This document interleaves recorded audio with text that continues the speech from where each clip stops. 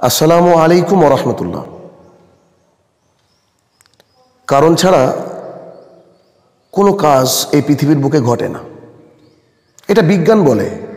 কিন্তু এমন কিছু কাজ রয়েছে যেগুলো বিজ্ঞানকে তোয়াক্কা না করেও কারণ ছাড়াই ঘটে চলেছে সে আদিকাল থেকে ঘটবে ভবিষ্যতেও। আল্লামা দেলোয়ার হোসেন সাইদি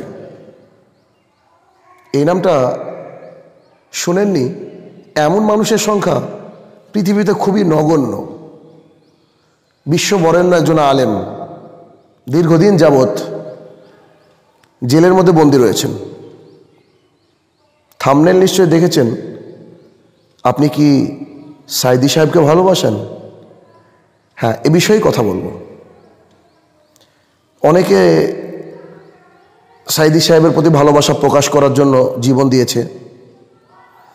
অনেকে তার মুক্তির দাবিতে সরব হয়েছে গোটা বিশ্ব জুড়ে। কেউ তাকে রাজাকার আখ্যায়িত করেছে। সাইদি সাহেবের ভক্তের অভাব নেই দুনিয়া জুড়ে। তার নাম ডাকেরও অভাব নেই ইন্টারনেটের পাতা জুড়ে। বহু মানুষ তার কথা শুনে ইসলামের ছায়াতলে এসেছে। বহু মানুষ তাদের জীবন পরিবর্তন করেছে। সেই সুরের পাখি এখন মুমূর্ষ হয়ে জেলখানায় দিন কাটাচ্ছে। ওই যে শুরুতে একটা কথা বললাম না? যে কারণ ছাড়া কোনো কাজই ঘটে না, এটা বিজ্ঞান। আর অকারণেও যে কাজটা ঘটে, সেটা হচ্ছে ভালোবাসা। আপনার মা আপনাকে ভালোবাসে, আপনার পাঁচ ভাই আপনাকে ভালোবাসে। দেখবেন, এটা একটা ন্যাচারাল বিষয়। এর মধ্যে কোনো সায়েন্স লজিক কিচ্ছু নেই। ভালোবাসা এখানে বিজ্ঞান থাকে না লজিক থাকে না। শুধু থাকে একটা মমত্ববোধ, একটা ভালোবাসা। মানে এই এই সংজ্ঞাটা দেওয়া অনেকটা মুশকিল। আপনি সাইদি ভক্ত। আমি বহু সাইদি ভক্তকে দেখেছি যে তিনারা গালিগালাজ করেন, তাদের বিরুদ্ধে বক্তৃতা গেলে।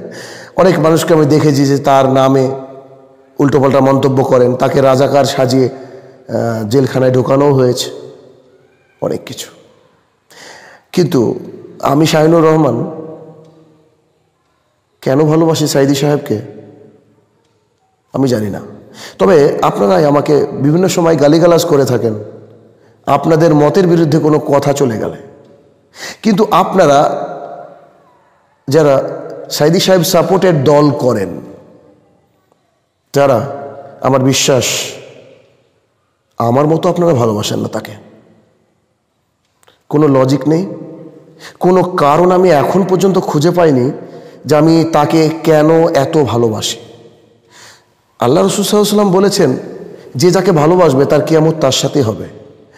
যে যাকে ভালোবাসবে মানে একজন মুসলমান অপরজন কোনো মুসলমানকে যদি ভালোবাসে তো আহ, আরশের যে ছায়া যেদিন কোনো ছায়া থাকবে না মানুষ হবে ব্যতিব্যস্ত সেদিন সে ছায়াতলে সমাসীন হবে দুই ব্যক্তি।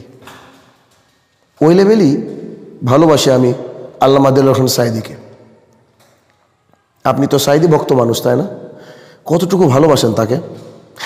আমি আমার জীবনে হয়তো এমন কোনো বক্তৃতা নেই, খাস করে বাংলাদেশে যে প্রোগ্রামগুলো করেছি, ওইগুলা বাদ দিয়ে। আমার জীবনের হয়তো এমন একটা বক্তৃতাও আমার মনে পড়ে না, যেখানে আমি আল্লামা সাইদির জন্য দোয়া করিনি। ঠিক বলছি। তার প্রমাণ আপনারা পাবেন একটু পরে। যদিও হাজার হাজার বক্তৃতা তো আমি এখানে দিতে পারব না, যেহেতু ভিডিও একটা শর্ট ভিডিও করতে হয়। কিন্তু আমি যে তাকে কত ভালোবাসি, আমি যে হাজার লক্ষ মানুষের সামনে তার জন্য দোয়া করি এবং বিভিন্ন টপিকে আলোচনা করার সময়ও তার কথা যে ভুলি না, তাকে যে অন্তর দিয়ে কলিজা দিয়ে ভালোবাসি, তার প্রমাণ একটু পরে আমি আপনাদেরকে দিচ্ছি। হয়তো অনেক ভিডিও দিতে পারব না, তবে কিছু তো দিতে পারব। যে কোনো আমার কাছে কিছু স্টকে রয়েছে। বাদ বাকি আপনারা যদি আমার এই কথাকে সত্য যাচাই করার জন্য চেষ্টা করেন, তো যে কোনো আমার বক্তৃতায়, কয়েক হাজার বক্তৃতা হয়তো ইন্টারনেটে পাবেন। যে কোনো বক্তৃতার শেষে গিয়ে দেখবেন, আমি তার জন্য প্রাণ খুলে অন্তর থেকে আল্লাহ সোবানা তালার দরবারে দোয়া করছি এবং আমার সামনে যত হাজার হাজার লোকজন বসা থাকে, সবাই দোয়া করছে তার জন্য। আমি করাচ্ছি তাদেরকে। উদ্বুদ্ধ করছি দোয়া করার জন্য। Yes I love him very much আমি বলে বোঝাতে পারব না আমি ওনাকে কত ভালোবাসি। ওনার সুর, ওনার কোরআনুল করিম, এর রিসাইটেশন ওনার, আমি জানি না কেন ভালোবাসি, তবে অন্তর থেকে ভালোবাসি। তিনি যে দল করতেন, ওই দলের সাপোর্ট অনুসারে যারা সাপোর্টার্স রয়েছেন, তারা আমাকে বিভিন্ন সময় মাসলা মাসাইল নিয়ে গালা, গালিগালাজ করেন।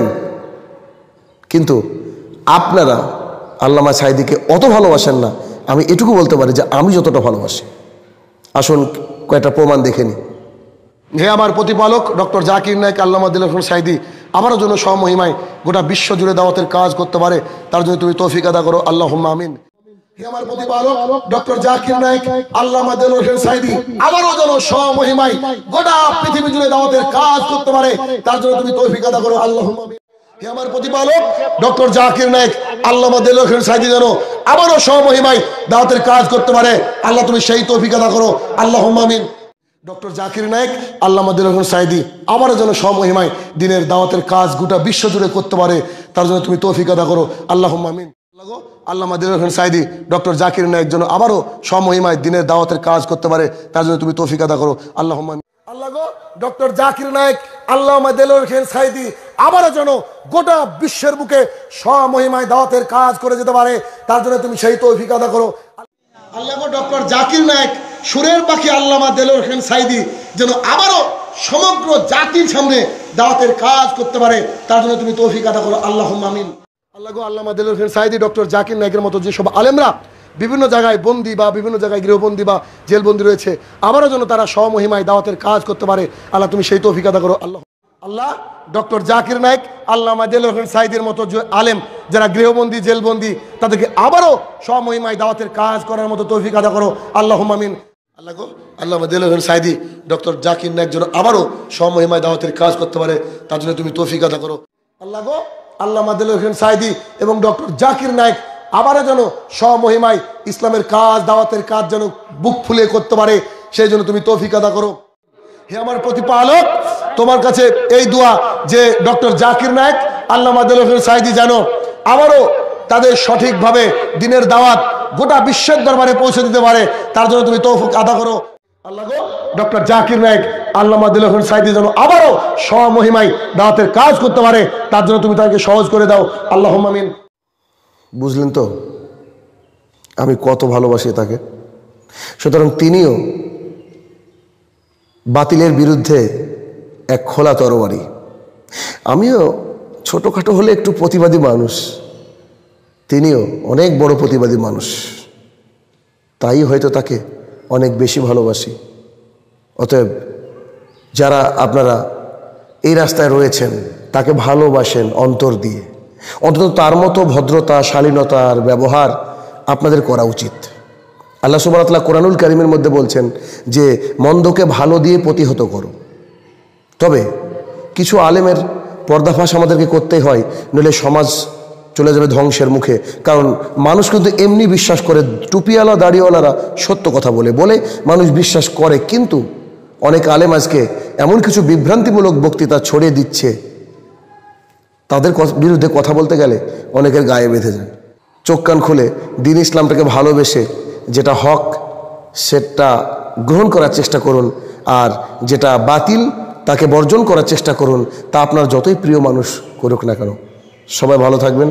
আসসালামু আলাইকুম রহমতুল্লাহি ওবরাকাত